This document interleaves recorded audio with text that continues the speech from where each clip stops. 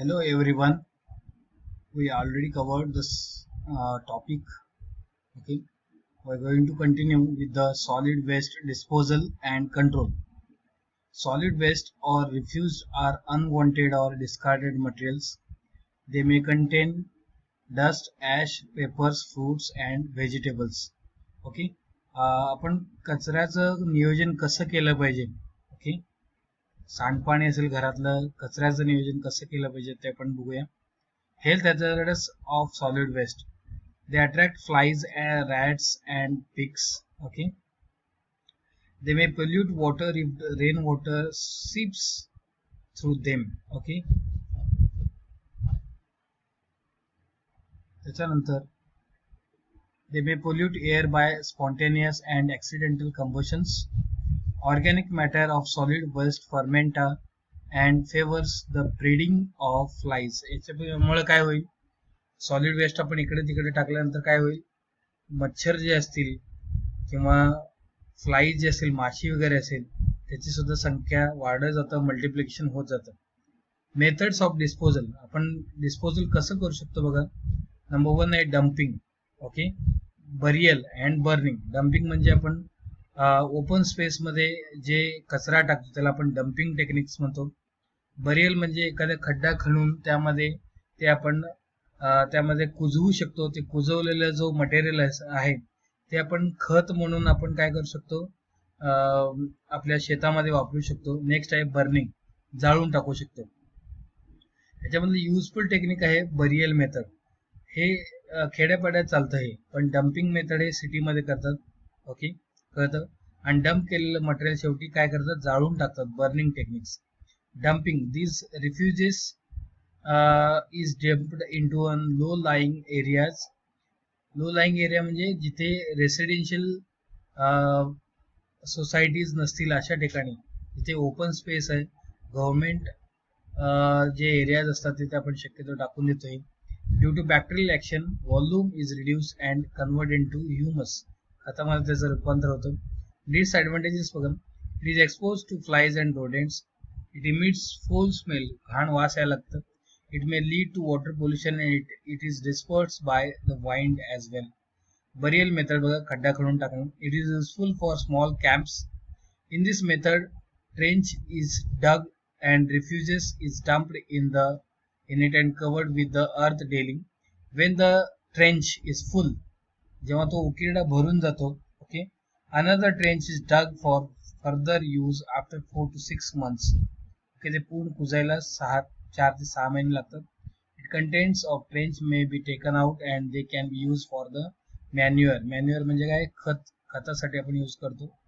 Burning method it is use for disposal of hospital refuse generally burning is carried out in an incinerator okay भट्टीमध्ये त्याचा आपण काय करतो? सगळे solid waste आहे ते आपण काय करतो? जाळून टाकतो. इन्सिनरेटर म्हणजे काय? भट्टी. Primary treatment screening grid chamber primary sedimentation tank it goes to trickling filter and aeration tank and final sedimentation is happen in secondary treatment for sewage solid waste treatment okay स्क्रीनिंगमध्ये काय होतं बघा? Sewage is pass through a metal screen okay metal screen असतं जाळी असतं. It remove large objects like pieces of woods okay मोठमोठे लाकडं असतील ते सुद्धा सेपरेट होतात. गार्बेज असेल okay and dead animals okay separate होतात. ग्रीड चेंबरमध्ये काय होतं बघा?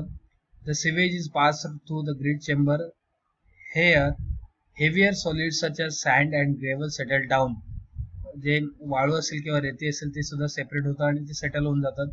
Primary सेडिमेंटेशनमध्ये later the sewage passes through a large primary sedimentation tank here organic matter settles down and it is called as sludge okay fat and grease rises to the surface and it is called as scum okay secondary treatment मध्ये बघा this sewage from primary sedimentation tank contains organic matter and living organisms it is treated either by trickling filter method or by activated sludge process trickling filter method म्हणजे काय बघा the trickling filter method is made of crushed stones the effluent from primary sedimentation tank is sprinkled on this bed by means of rotating pipes with several rows of holes. The effluent is oxidized by algae, fungi, protozoa and bacteria as it is passes through this filter bed. Okay. A separation होऊन जातं. Activated sludge process. It involves the use of aeration tank. The effluent from the primary sedimentation tank it is aerated by the aeration tank by agitation or by compressed air method. Aeration oxidizes the sewage to carbon dioxide, nitrogens and water. Final sedimentation मध्ये काय होतं the sludge which now settles down in the harmless condition.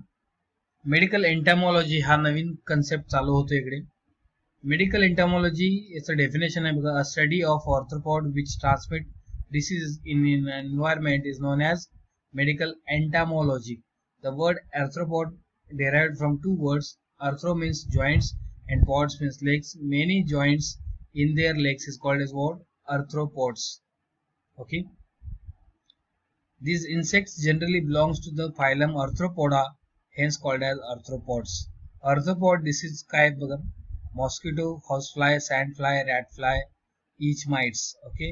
मॉस्किटोमुळे malaria होतं filaria होतं हॉस्फ्लायमुळे cholera typhoid diarrhoea dysentery and polio होऊ शकतं सँडफ्लायमध्ये काला आजार सँडफ्लाय हे नावं लक्षात ठेवा bubonic plague epidemic typhus rabies okay ट्रान्समिशनमध्ये direct contact आणि mechanical transmission arthropod are directly transferred from man to man through the close contact scabies example दिलं त्याचं मेकॅनिकल ट्रान्समिशन मध्ये the disease agent is transmitted mechanically by the arthropod transmission of diarrhoea and dysentery by house fly okay हे ऑर्थ्रोपॉड born diseases आहेत biological transmission काय होतं बघा The disease agent multiplies or undergoes some development change in the arthropod host malaria parasite आणि filaria parasite होऊ शकतं rodents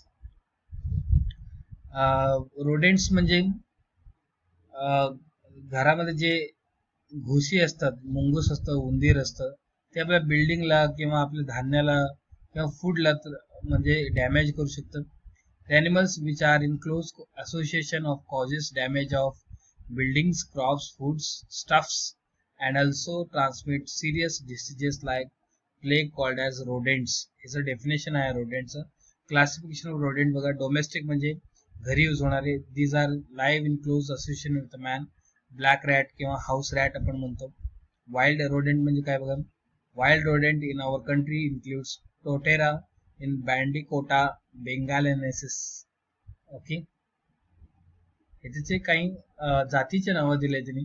disease transmitted by rodents हे परत इथं तिकडे बॅक्टेरियल आहे बॅक्लेग सॅल्मोनेलासिस व्हायरल डिसीजमध्ये इन्सेफेलायटिस हिमोरेजिक्स रिकेशियल्समध्ये scrub typhus rickettsial pox पॅरासायटिकमध्ये amoebiasis trichinosis others rat bite fever ringworm etc animals these are various animals such as which are very close to man such as pet animals पाळीव प्राणी म्हणतो आपण and cattles म्हणजे जनावर जे की आपण agriculture process मध्ये यूज करतो These animals transmit various diseases to man is called as zoonosis zoonosis म्हणजे काय झू म्हणजे काय प्राणी आपण म्हणतो ओके प्राण्यापासून होणाऱ्या डिसीजला आपण काय म्हणतो Zoonotic diseases zoonosis are defined as those diseases and infections which are naturally transmitted between man and animal is called as what zoonosis zoonotic disease zoonotic disease may be due to viruses, bacteria, fungi, protozoa and arthropods or insects, rickettsia. त्याचे types दिले त्यांनी viral disease झोनॉटिक disease पासून कसं होऊ शकतं बघा dogs मुळे आपल्याला रेबीज होऊ शकतं. कॅटल्स अँड गोटपासून आपल्याला ट्युबरक्युलॉसिस होऊ शकतं up to some extent dogs and कॅटपासून dermatophytosis होऊ शकतं. डॉग्सपासून आपल्याला एमेबेसिस होऊ शकतं. डोमेस्टिक अॅनिमलपासून आपल्याला स्केबीज होऊ शकतं खाज होऊ शकते आपल्याला. रेकेशियल पॉक्स हे रिकेशियल डिसीजपासून होऊ शकतं. नेक्स्ट आहे insecticide insecticide is an agent or chemical substance which kills insects. pesticides is an agent or chemical substance which kills the pest हे त्याचे डेफिनेशन दिले इन्सेक्टिसाइड म्हणजे काय which kills the insects and pesticide म्हणजे काय which kills the pests okay next आहे classification of insecticide insecticide are classified into two categories uh, sorry three categories contact poison kills the insects by direct contact contact पॉइझनला आपण कसं करू शकतो बघा? DDT ची फवारणी करू शकतो आपण. डीडीटी म्हणजे काय? Dichloro diphenyl trichloro ethane. Okay हे पावडर आहे. बीएचसी बेन्झिन हेक्झाक्लोराइड किंवा पायरेथ्रम ओके हे काही केमिकल डिसइन्फेक्टंट म्हणून आपण ॲज करू शकतो. Into kill the insects stomach poison kills the insects when ingested by them by orally okay or through skin contact. So sodium chloride Fumigants give off vapors which kills the insects. Okay. कळतं हा topic तुमचा topic number eight environment and health इथेच संपतो. या टॉपिकमध्ये महत्वाचं शिकण्यासारखं काय आहे बघा? क्लासिफिकेशन ऑफ इन्सेक्टिसाइड्स इन्सेक्टिसाइड म्हणजे काय? पेस्टिसाइड म्हणजे काय? त्याचे डेफिनेशन झुनॉटिक डिसीज ओके त्याचे टाइप्स दिले त्यांनी. त्याच्यानंतर अॅनिमल्स म्हणजे काय? झुनॉसिस म्हणजे काय? Disease transmitted by rodents okay रोडेंटचं definition त्याच्यानंतर ऑर्थ्रोपॉड बॉन्ड डिसीजेस कुठले कुठले असू शकतात त्याचं ट्रान्समिशन कसं होऊ शकतं ठीक आहे? ते दिलं त्यांनी. मेडिकल एंटामॉलॉजी याचं डेफिनेशन खूप महत्वाचं आहे ठीक आहे? त्याच्यानंतर सॉलिड वेस्ट डिस्पोजल आपण कसं करू शकतो? त्याचे तीन मेथड्स दिलेले आहेत. डम्पिंग बरियल आणि बर्निंग मेथड्स ओके त्याच्यानंतर इफेक्ट ऑफ लाइट कसं होऊ शकतं? आपल्या बॉडीवरती लाईटचं इफेक्ट कसं होऊ शकतं? त्याचे सोर्सेस काय आहेत? व्हेंटिलेशन म्हणजे काय? नॉईजचं डेफिनेशन दिलंय. इफेक्ट ऑफ नॉईज दिलंय त्यांनी. एअरबॉर्न डिसीज म्हणजे काय? एअर पोल्युशन म्हणजे कसं होतं? एअरचं डेफिनेशन हे दिलेलं आहे. त्याच्यानंतर रॅपिड सँड फिल्ट्रेशनमध्ये फाईव्ह टाइप्स दिले त्यांनी. Coagulation mixing flocculation sedimentation filtration या सगळ्या गोष्टी खूप महत्त्वाच्या आहेत. ओके त्याच्यानंतर फिल्ट्रेशनचं मेकॅनिझम त्यांनी slow and rapid sand filtration या दोन पार्टमध्ये ह्या डिवाइड केलेला आहे filtration part slow sand filtration and rapid sand filtration process हे खूप महत्वाचं आहे. त्याच्यानंतर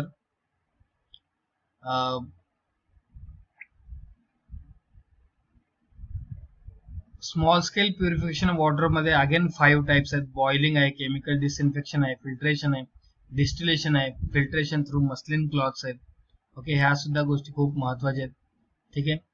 त्याच्यानंतर हार्ड हार्ड वॉटर म्हणजे काय? सॉफ्ट वॉटर म्हणजे काय?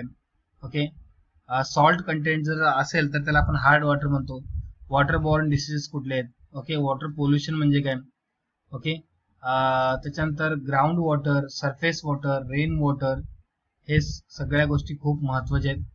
एमसीक्यू ची तयारी करत असताना तुम्ही थेरी वरती जास्ती फोकस कराल.